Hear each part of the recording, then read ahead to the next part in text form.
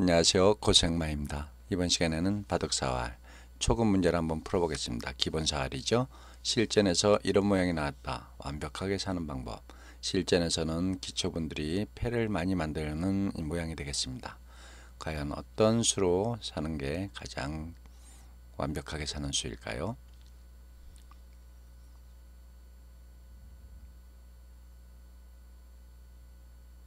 실전에서는 이렇게 젖히면 어떻게 될까요? 백이 물론 이렇게 놓으면은 예, 살았죠.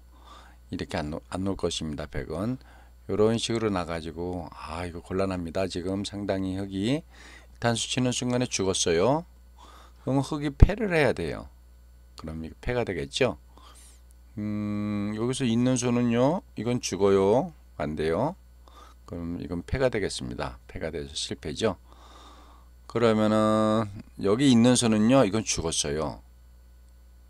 이거는 예 이거는 먹여치기 한들 또 단수 계속 야 신은 나지만은 이건 따봤자 이음은 죽습니다 사공도로.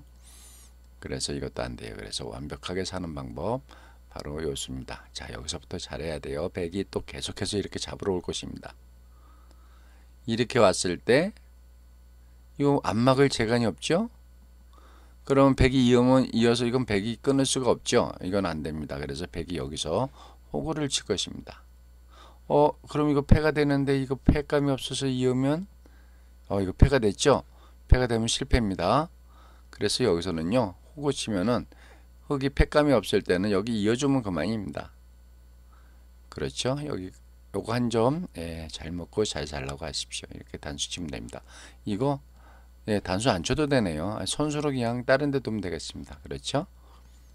그래서 상대방이 이렇게 놓고 놓고 호구 치면은 가만히 이어주고 백이 끊으면 이건 손 빼도 살았습니다. 그렇죠? 그래서 첫 수, 요 수를 찾으시면 되겠습니다. 다른 수는 다 위험합니다. 자 이렇게 해서 초급살 한번 알아봤습니다. 그러면 다음 시간까지 안녕히 계십시오. 감사합니다.